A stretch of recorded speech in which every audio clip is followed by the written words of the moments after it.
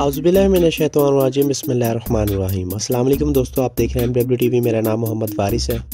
وزیر اعظم عمران خان آج سعودی عرب کے دورے پر جا رہے ہیں اور بہت سے لوگ یہ سوال اٹھا رہے ہیں کہ ملک میں ایک انتشار پھیلا ہوا ہے، ملک میں ہنگامے ہو رہے ہیں۔ اپنے ملک کو چھوڑ کر سعودی عرب چلے گئے ہیں اور ان کا دورہ اتنا کون سا زیادہ اہم تھا کہ وہ اپنے ملک کے معاملات کو چھوڑ چھاڑ کر اور سعودی عرب چلے گئے ہیں۔ لیکن میں آپ کو بتاتا چلوں کہ عمران خان کا یہ سعودی عرب کا دورہ بہت ہی زیادہ اہم ہے کیونکہ اس میں انہوں نے ایک ایسا معاہدہ کرنا ہے سعودی عرب کے ساتھ اور اس کو اور سعودی عرب کو ایک ایسے معاہدے کے لیے رضامند کرنا ہے جس کے بعد شاید مسلمانوں کی پوری دنیا میں تقدیر بدل جائے۔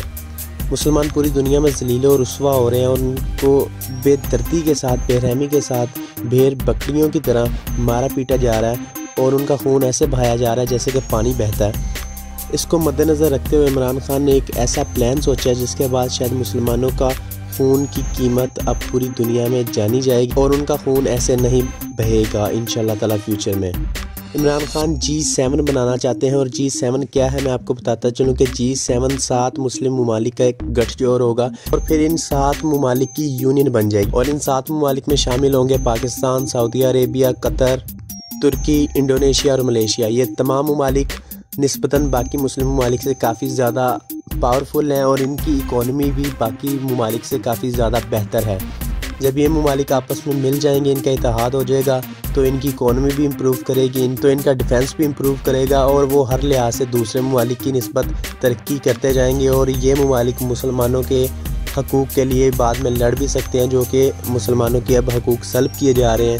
ان کے خلاف یہ آواز اٹھائیں گے اور نہ صرف آواز اٹھائیں گے بلکہ ایک سیسا پلائی دیوار بھی بن کر سامنے آئیں گے۔